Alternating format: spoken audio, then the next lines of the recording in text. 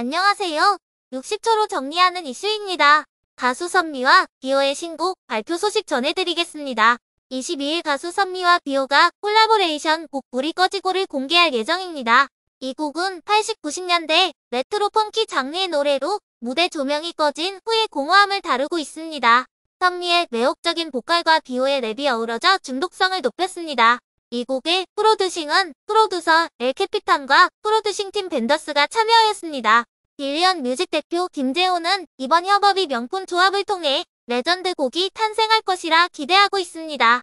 선미와 비오의 콜라보레이션 불이 꺼지고는 22일 오후 6시 각종 음원 사이트를 통해 공개될 예정입니다. 이상으로 선미와 비오의 신곡 발표 소식 전해드렸습니다. 구독과 좋아요 부탁드립니다. 감사합니다.